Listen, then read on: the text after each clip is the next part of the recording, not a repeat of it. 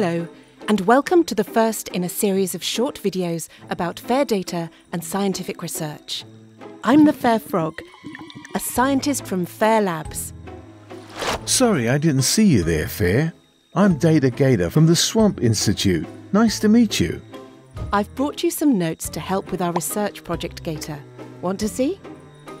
I've no time, Fair. I've been trying to get organised, find things, you know how it is.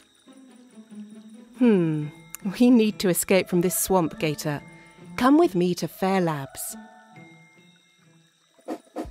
You and I are very different creatures, Gator. But there's something we do have in common. Do you really think so? Yes. We both need to find, share, and reuse data. But sometimes that's not as easy as it sounds. Our research could lead to new discoveries, insights, and collaborations. But if we want to see the benefits, we need to make sure our data is easy to work with and fair.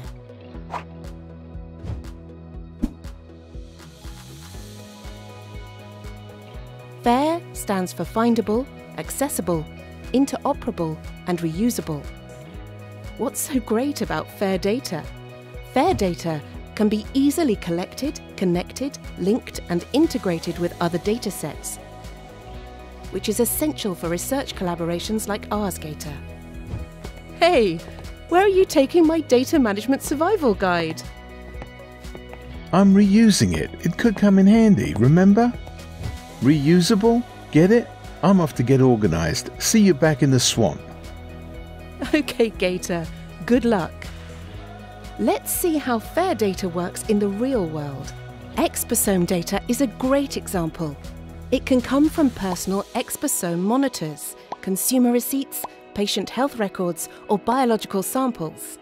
Thanks to computing power, researchers can combine and analyse all these different types of data to understand how the exposome affects human health.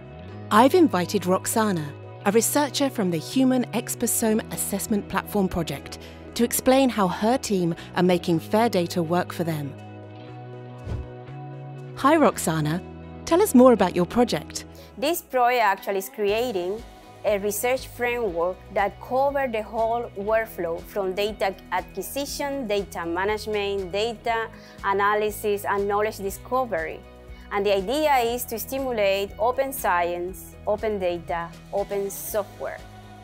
What sort of exposome data are you collecting? As a proof of concept, we are using several cohorts. For example, we have a consumer cohorts with receipts that can be linked to uh, records, medical records, so you can extract very interesting knowledge from there. We have the wearable uh, study where it's possible to uh, create a personal exposome profiling of pregnant women. Why are fair data principles important for a project like this? Well, HEAP makes it possible to share data and analysis tools to produce knowledge about the impact of the exposome on human health. This can only be achieved by sharing high-quality data that is findable, accessible, interoperable, and reusable. How can researchers be sure that their data is fair? Well, we have developed a fair data self-assessment service to help researchers check if their data is fair. That sounds fantastic. Now, let's get back to the swamp and see how DataGator is getting on.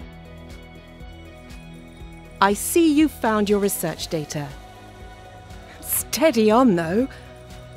Following the FAIR principles doesn't mean you have to share your data openly with everyone. Data can be private or only shared under certain restrictions and still be fair. And some open data may not be fair if it doesn't have a clear reuse license, for example. Remember, the FAIR principles help us discover, store, manage, and reuse data for the benefit of everyone to stop us feeling so swamped. Thanks, Fair. I think FAIR principles will help me when I crunch those numbers. See you in the next video.